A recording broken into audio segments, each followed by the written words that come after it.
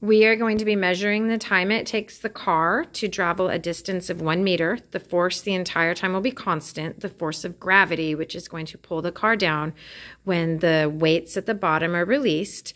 We're going to measure three trials to find the time it takes the car to travel that distance.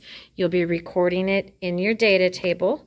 First, we'll do it without any added mass with zero washers added to the car itself. As you can see, its little cargo compartment is empty.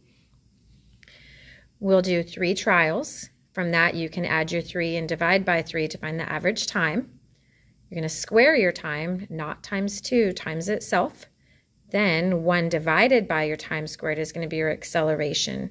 We're going to repeat that for adding two washers, which is going to add mass. We'll show you what that's going to look like. You're going to have to coordinate with your group as far as timing. You're going to hit start and release the weight at the bottom to pull the car down. You're going to make sure to stop the timer when the car gets to the end and do your best to catch the car so it's not crashing into the floor.